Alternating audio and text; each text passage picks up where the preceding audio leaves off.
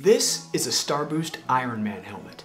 Originally, it was a plastic 3D print, but it has been turned into a one-of-a-kind cosplay prop. It is wearable and includes internal wiring for accent lighting with see-through light-up eyes. And I'm gonna show you how I made it. Let's go.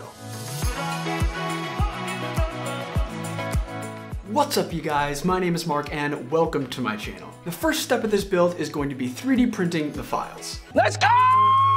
I downloaded the files off the Do3D website and will have a link in the description below. I utilized Cura to size and scale the helmet to my liking. I printed this helmet and all the parts in 0.12 millimeter layer thickness to reduce the amount of sanding and smoothing I had to do on the prints when they were finished. I used PLA material and printed the pieces on my Ender 5 Plus and my Ender 3 S1. The main portion of the helmet had to be printed on my Ender 5 because my Ender 3's build plate was not big enough. I prefer to use my Ender 3 when I can because it has a direct drive extruder, but sometimes it's necessary to use my Ender 5 when I have prints that are really large, such as this one. Massive, huge, not a bad one. When printing is finished, you can remove the supports and align the printed parts to make sure that everything fits together properly. Unfortunately, this next step is not very fun, but it is definitely the most important part of any build. I sand the surface of the helmet with a variety of sandpaper from 150 to 240 grit. After sanding, I rinse the parts and put on a layer of Bondo in the spots that need a little bit more help. The Bondo helps fill small holes, gouges, and imperfections from the printing process that weren't able to be fixed by sanding. After the Bondo is dry, the parts are sanded again with 240 and 320 grit sandpaper. Now that the most tedious and labor-intensive part of the build is over, the helmet is ready to be covered in filler primer. Lather it up, Brenda. This is followed by a repetitive sequence of sanding and spraying until you have an almost smooth and perfect part, or I guess until the part is smooth to your own personal liking. Use increasingly fine sandpaper every time a layer of filler primer is applied, and eventually you will have a very smooth part. To connect the three parts of the helmet, I created tabs out of leftover printed raft material and used magnets to connect the pieces together. Yeah, bitch! Magnets! Oh!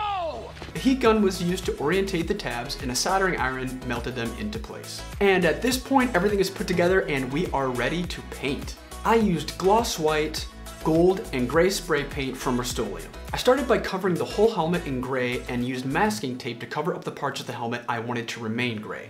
I then added the white and gold and followed that up with a few layers of gloss clear coat. The next part was incorporating the lights into the mask, and this can be kind of tricky if you don't have any prior experience to electrical circuits or soldering. I have no idea what I'm doing, but I know I'm doing it really, really well. The items I used for this part of the build are multicolored 24 gauge wire, a total of 11 PCB LEDs, a 12 volt battery and a battery holder, a teeny tiny small toggle switch, a soldering iron, and of course solder, some helping hands to hold the LEDs and wires while I solder, a hot glue gun with extra hot glue, and a wire strippers and a nippers. I started by drawing out my circuit. This can take some time, and especially if you don't have any prior experience with electrical circuits, I recommend going online to make sure that you have everything that you need and that your voltage and currents are set correctly for the type of LEDs that you use. Once I had an idea of how I wanted to wire things, I got to work. I use the magnets that connect the different parts of the mask together as conduction points. This means that for the circuit to be connected, the magnets have to be centered and clasped. I achieved this by stripping a long strand of wire and wrapping it around the magnet prongs. I then soldered the wire into place. Now, when the magnets connect, it completes my circuit and all the lights light up as they should. I used a total of 11 LEDs and placed them in various points throughout the mask. I used hot glue to secure the LEDs and tack the wires into place. I installed a slide switch at the bottom of the mask so, that even if the magnets are connected, I could still decide if I wanted to turn the LEDs on or off by using that switch. The LED eyes were purchased on Amazon and were installed the same exact way as the accent LED lights. The battery pack that came with the LED eyes holds two AA batteries and actually already has an integrated switch into the battery pack, so I didn't need to install a separate slide switch on the bottom of the mask. And after that, everything was done and the final product looked like this.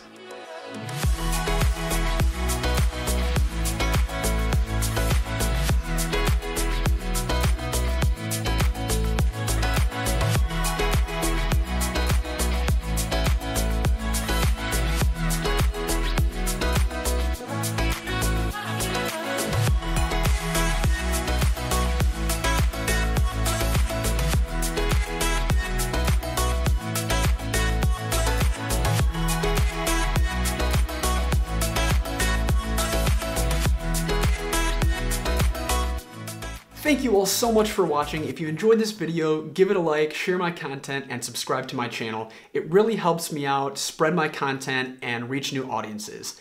Thank you guys again so much, and stay classy.